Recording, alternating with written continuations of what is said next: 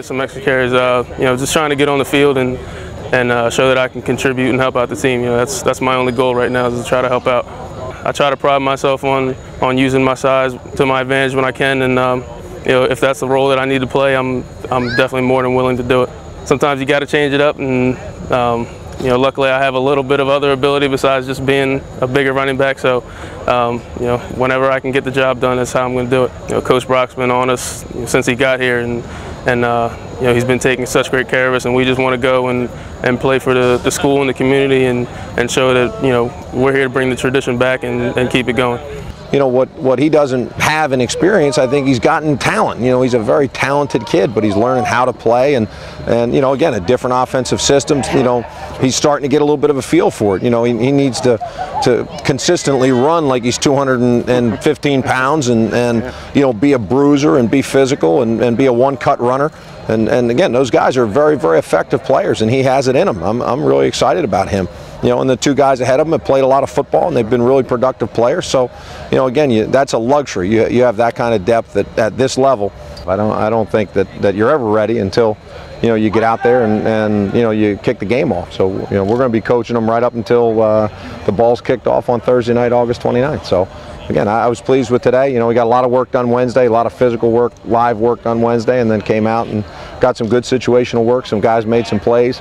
You know, that's what excites me. You see guys make plays in, in competitive situations. You know, Mikey going up over top of Jordan and, and going and getting a deep ball. You know, you, when you practice that, you do it in the games. You know, it shows up on film, and, and you know that that's what it's all about. When you can go out and do it, you know, in, in practice, you do it in the games. So I, I was pleased with today. I thought it was physical. Guys ran around.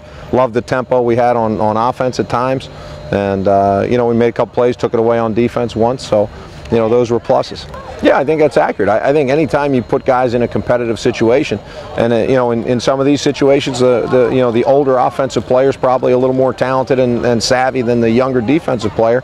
So it makes those guys fight and scratch and claw and, and compete. And you know, again, when, when you're a competitor, you don't like it when it doesn't go your way. So you you know you come out the next rep and, and you know try harder if you can do it.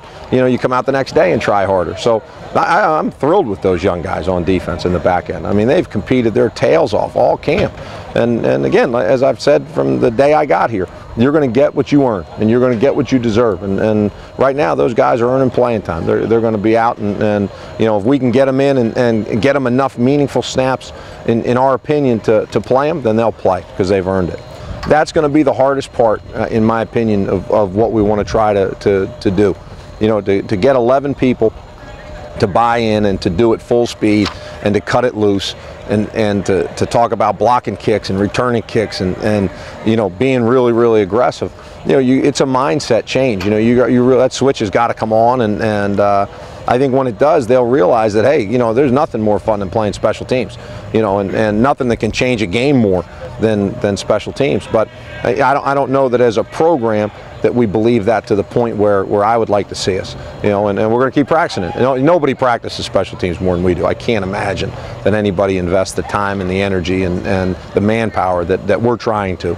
And uh, I do it because it, you know I saw it work at Rutgers, I saw it work at Kansas State, you know, and and uh, you know we're going to try and model ourselves as a team that's going to change the game on special teams.